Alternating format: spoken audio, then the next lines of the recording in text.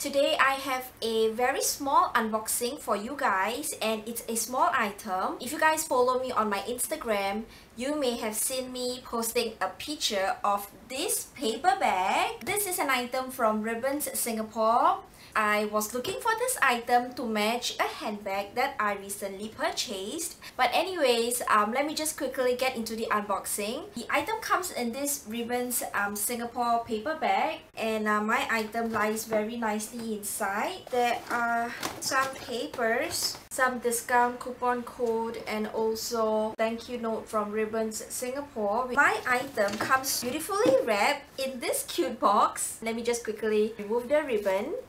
So, okay, and ta-da! It's from Balenciaga. So if you guys did watch my previous video, I did mention that I am looking for a bracelet that is in leather to match my latest Balenciaga city bag. I was trying to find it in the Balenciaga boutique in Singapore but they just did not have this so when I saw that you know Ribbon Singapore has this item and it was on a good deal of course, I had to grab it. Opening this box will reveal... Okay, it's a small dust bag. Let me just quickly show you the dust bag. So cute!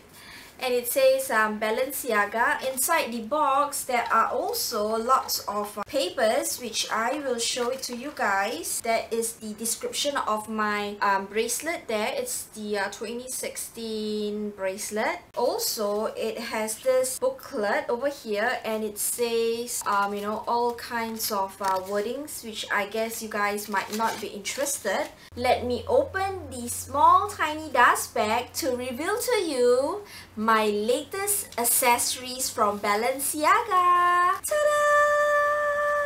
And this item is so nice. Basically, it's black in color with silver hardware, similar like my bag.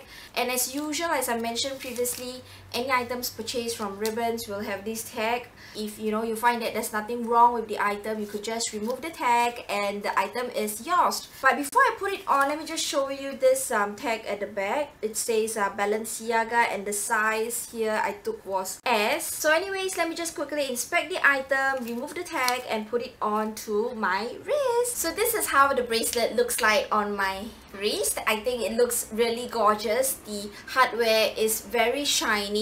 With me, I have my gorgeous, you know, Balenciaga city bag. I think um, it really matches very, very well. What you guys think? But anyways, that's the end of my unboxing. This is the only item that I want to unbox and show you guys. So thank you for taking time to watch these videos and see you again in my next video.